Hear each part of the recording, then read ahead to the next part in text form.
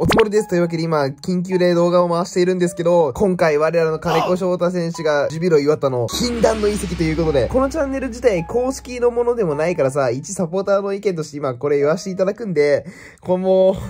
う、いやー、もう、マジ？今動画撮ってるのがお昼ちょっと前頃なんですけど、いい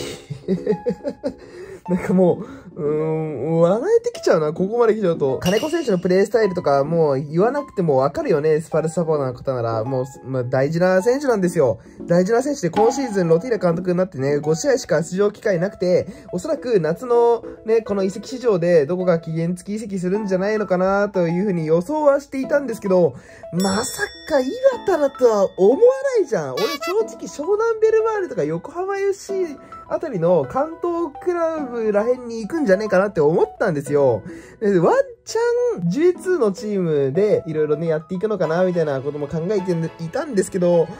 いや、これ、岩田だとさ、これ絶対にもう SNS 上とんでもないことになるでしょう。てかもうなってるんよ、今。今、ツイッもトレンド入りしてるからね。今、岩田を率いてる鈴木監督とのさ、その、まあ、年代別でなんかあったんでしょ？指導経験みたいなものが。多分そこも買われていたんだと思うけどさ。いやー、もうこれは大丈夫な。この気持ちマジで分かってほしいんだけどさ、生え抜きでエスパルサイをたくさん持ってる選手です。16年の最終節には、あの劇的な決勝弾も決めて、えー、千何百かもゴールの記念ゴールもたくさん決めて、26歳っていう油の乗ってる時期だからこそもっと活躍してほしいなっていう、そういう気持ちがたくさんあった選手だし、選手会長も務めたり、去年とかキャプテンだったんだからね、そんな愛されてる選手がサックスブルーの着てる姿想像できね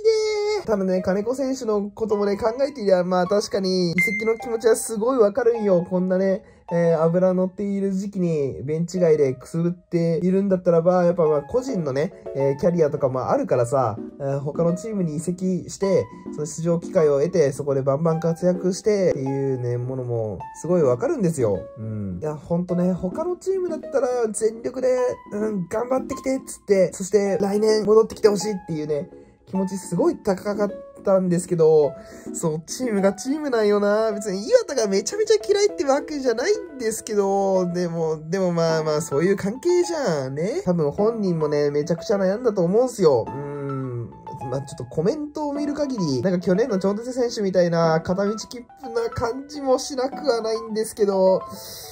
ああ、もうちょっと今回のね、移籍はショックがでかい。本当にでかい。いやー、去年の俺が金子翔太選手がジュビロ岩田に行くよなんて想像もしないもん。てか想像した人なんていますいないでしょ。ただまあもう決まったもんは仕方ないです。行ったからにはね、バシバシ活躍してもらって、たくさん点取ってもらって、アシストしまくって、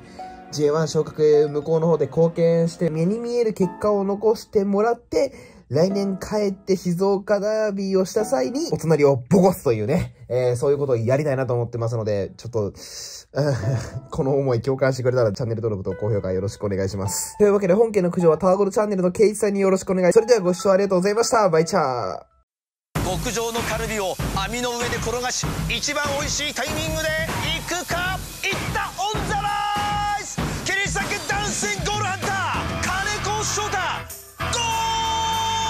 ゴー